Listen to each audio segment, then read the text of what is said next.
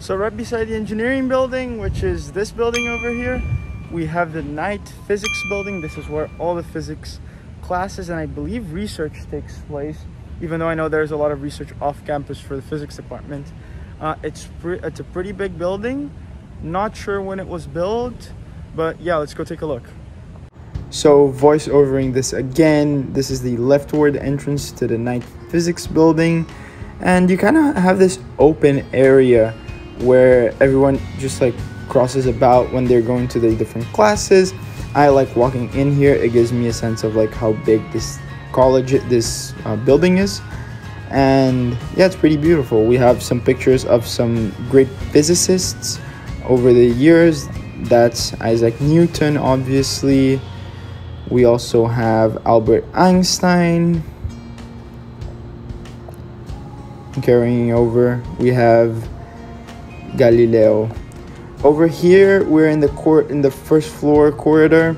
Uh, this corridor is where all the labs are located. Again, there's kind of this view to the green area in between the engineering and the physics building. Again, some nice areas to study. That's pretty quiet. That's very isolated from campus. This stairway is the main entrance to the building. That's where most students go uh, go through.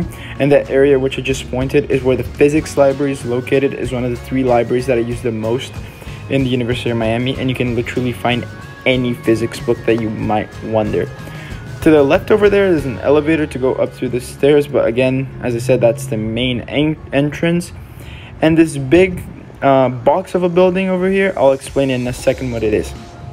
So this big construction of a building is one of the biggest auditoriums we have on campus. If I believe the maximum capacity, obviously pre-COVID was 150 people at once. This is where they take usually the introductory physics classes like physics 1, 2, and 3. Unfortunately, uh, I, I couldn't take physics 3 over here due to COVID. I'm gonna talk about physics classes. So um, I had Yang as my professor. I did not like her classes. I sat at the back and I maybe it's me. A lot of people around me have asked them and they said they had no problem with the professor. It's probably me. I don't like physics a lot. I'm pretty bad at physics and yeah. I probably couldn't focus because of that, but like on my opinion, her accent and the way she explains things it's it's a little bit like weird. I I get I get bored and like my I don't focus when she's speaking. I have it's it's just weird to understand what she's saying and what she's writing. Um, yeah.